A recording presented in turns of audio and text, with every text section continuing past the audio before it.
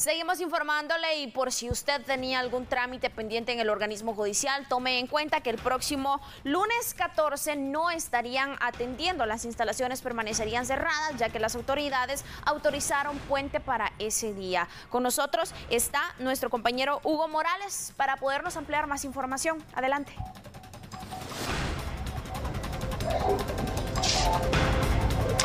Así es, compañeros, información importante de carácter judicial es que recordemos que la próxima semana se celebra en Guatemala el Día de la Independencia, exactamente el 15 de septiembre.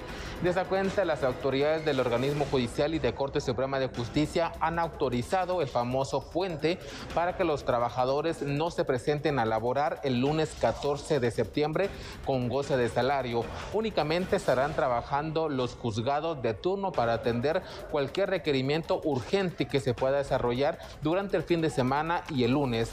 el funcionamiento del organismo judicial normal se estaría reanudando hasta el miércoles 16 de septiembre, por lo cual le recordamos, amigo televidente, si usted estará haciendo algún tipo de diligencia la próxima semana entre lunes y martes en la sede del organismo judicial, estas estarán cerradas a partir de este viernes a las 3 de la tarde, estarán, estarán abriendo hasta el miércoles 16 por la autorización de este puente que hace el organismo judicial y Corte Suprema de Justicia durante el 14 y 15 de septiembre.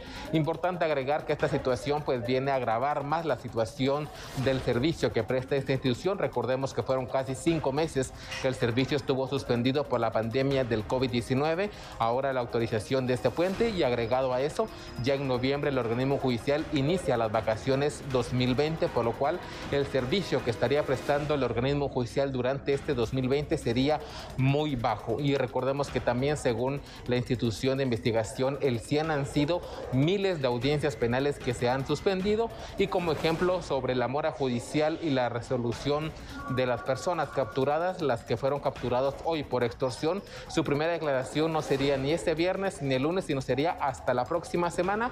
Estarían pasando casi una semana en una cárcel hasta que se presenten ante juez competente. Esto debido, como lo repito, al puente autorizado la Corte Suprema de Justicia. Es la información que puedo compartir con ustedes. Regreso al estudio principal.